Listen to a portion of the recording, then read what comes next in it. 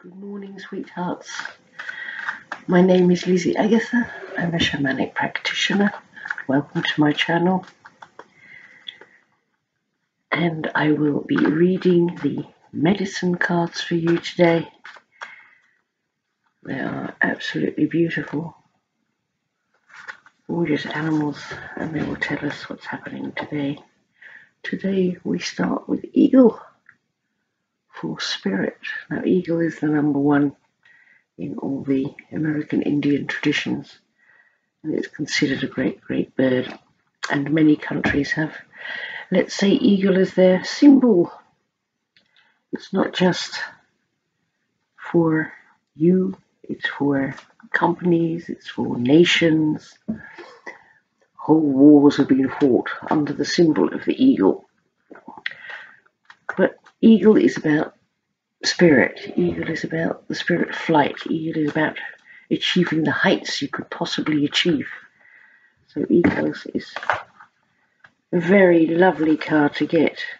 And that's a surprise, but on my second card I have Innocence. I have Porcupine.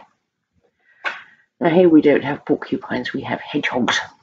And hedgehogs have a wonderful tradition as I suppose porcupines do, but mainly they mean innocence. Mainly they're about innocence, but this can also be the sort of double-edged innocence when something goes wrong or something someone gets hurt.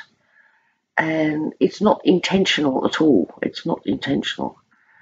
Uh, as the porcupine can't really see what goes on behind its quills behind its back. And yet sometimes people get hurt. So I think today, when you're flying high and watching the world below you in your spirit flight, be careful not to hurt anyone accidentally. All people who are resolved to reach their higher minds, their higher spirits, their best that their being can offer are sometimes capable or they accidentally lose sight of those that can't keep up and you can that way accidentally hurt people.